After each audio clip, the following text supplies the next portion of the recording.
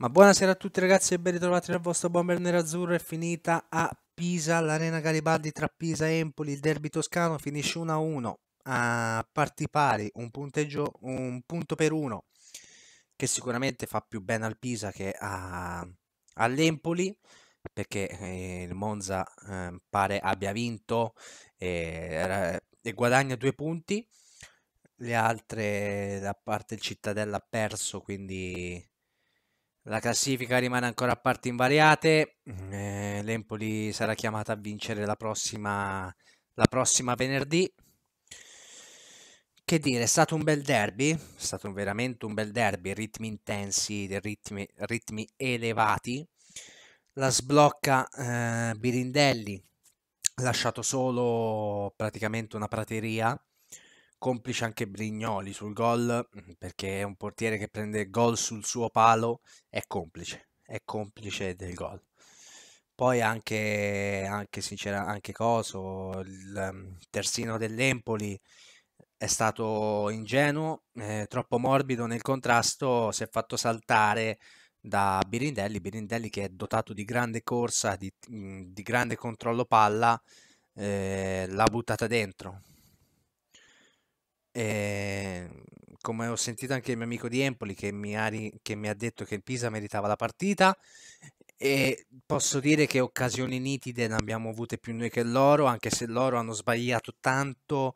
ehm, hanno sbagliato tanto sotto porta perché prima del gol del pareggio di Zurko, Zurkowski, attaccante polacco, eh, prima del pareggio hanno sbagliato tantissimo tantissimo, tanto vero che in live dicevo attenzione, attenzione ripetute volte, attenzione, noi rimaniamo concentrati con la testa e abbiamo concesso uno, una voragine a sinistra, a destra, scusatemi, a destra per il gol de, di Zukovski. Che dire, io ragazzi, un punto meglio di zero, poi con la prima in classifica eh, tanto di guadagnato. Ne guadagniamo sicuramente più noi che l'Empoli perché il Monza pare abbia vinto oggi pomeriggio, quindi l'Empoli, eh, il Monza ha rosicchiato due punti. Ehm, che dire, è stata una bellissima partita, un bellissimo derby. Ringrazio a tutti quelli che sono stati in live, veramente, veramente grazie a tutti. Siamo stati tantissimi stasera, veramente, non me l'aspettavo, grazie di cuore. Grazie di cuore a tutti a tutti i tifosi pisani che sono venuti, Cri, Marco, veramente vi ringrazio di cuore. Poi vabbè, i miei moderatori come sempre, grandissimi.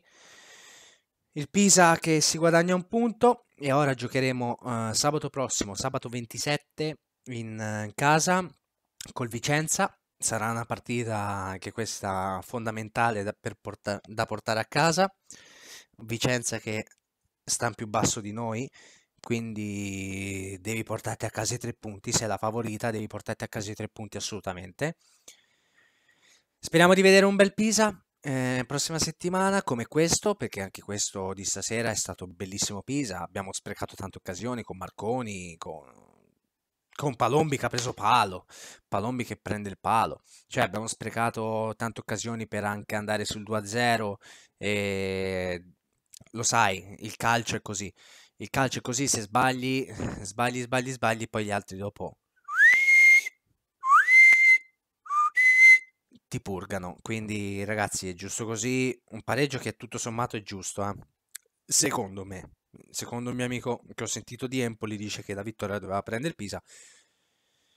A tabellino sì, però per quel che si è visto, per il gioco, per l'occasione, perché l'Empoli nel secondo tempo è entrata devastante in campo è entrata devastante in campo e dal 65esimo in là non c'è stata partita. L'Empoli ha fatto la partita nel, dal 65esimo in poi. Che dire ragazzi, un punto è meglio di zero, lo teniamo ben stretto, saliamo a 32 punti con l'occasione di andare a 35 sabato prossimo, eh, che sarebbero molto molto importanti in ottica salvezza, che ti mancherebbero più pochi punti per poi salvarti e magari vincendo col, col Vicenza eh, stacchi anche la classifica quelli che sono dietro, quindi meglio ancora, può arrivare ancora prima una, una salvezza. Che dire ragazzi, io vi ringrazio tutti quelli che sono stati live, gentilissimi, eh, tutti quanti.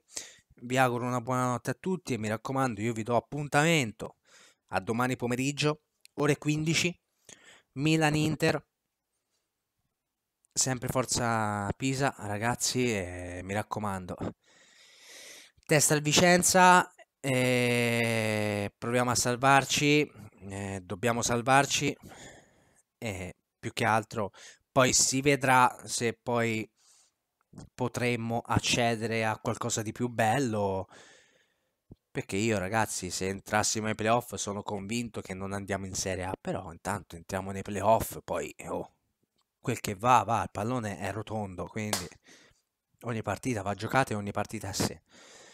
Spererei che come obiettivo dato dal presidente noi ci dobbiamo entrare. Non ci piove. Ragazzi, vi ringrazio tutti, vi auguro una buona notte, una buona serata per chi, per chi va a letto. Domani non lo so, non fa niente perché tanto la domenica si lavora. Quindi, ragazzi, eh, che dirvi, buonanotte a tutti quanti. Grazie veramente di cuore per essere stati tutti in live. E ci vediamo domani con la live di Inter Milan. Un salutone al vostro buon bene nerazzurro.